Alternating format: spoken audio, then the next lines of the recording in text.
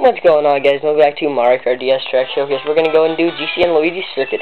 Now I have a story to tell during this. I probably said it before. Alright, so anyways, our school has speech meet. And all the kids were gone.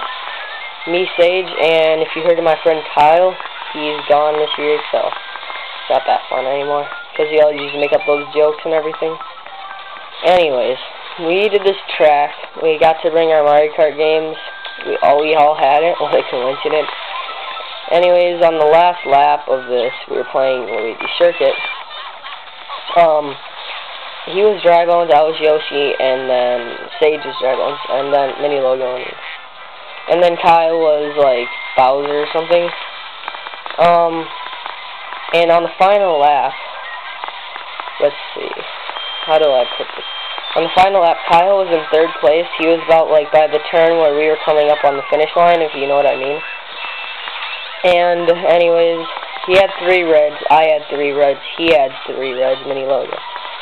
And, um, uh, and what was I going to say? Kyle threw one and it hit me. He threw one and he hit Sage. Sage threw one and it hit me. I threw one that it hit Sage.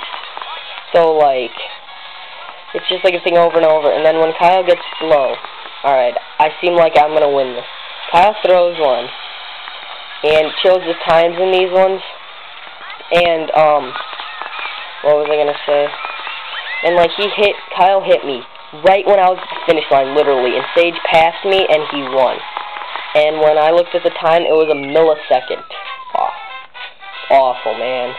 Alright, thanks for watching. And Luigi Circuit, goodbye.